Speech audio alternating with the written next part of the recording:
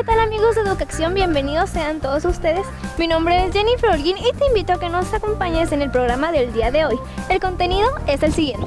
La segunda parte de la entrevista al licenciado Roberto Albitres Rodríguez, presidente del Colegio y barra de Abogados Juaristas, licenciado Ignacio Ramírez, y a la licenciada Ana Luisa Mejía García. Fuimos al recorrido ciclista urbano de Juárez en Bicla por su primer aniversario. Educación estuvo presente en la toma de protesta de la mesa directiva del Colegio y Barra de Abogados Juaristas, licenciado Ignacio Ramírez. Educación estuvo presente para grabar los mejores momentos de la graduación de pastelería, gelatina artística, corte y confección del Centro Comunitario Municipal Chavira.